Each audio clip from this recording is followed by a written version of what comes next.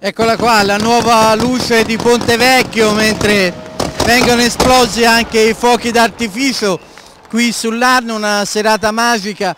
Stefano Ricci ha donato la nuova illuminazione di Ponte Vecchio, oltre 100 lampadine a LED ed è stato Andrea Bocelli ad accendere l'interruttore dopo essere stato introdotto già da Giancarlo Giannini che ha ricordato anche i suoi esordi da attore in teatro qui a Firenze. E poi la magia di Ponte Vecchio che sembra quasi un presepe sull'acqua, sul fiume Arno, davvero una illuminazione fantastica che rende magica questa notte, così come è stata goduta da tutti i fiorentini che si sono assepati sulle spallette dei ponti lungo l'Arno. Una serata, ha detto il sindaco Dario Nardella, che ha voluto rappresentare anche l'orgoglio di Firenze, chi illumina i monumenti ha detto illumina la storia e quindi appunto l'orgoglio di tutta Firenze.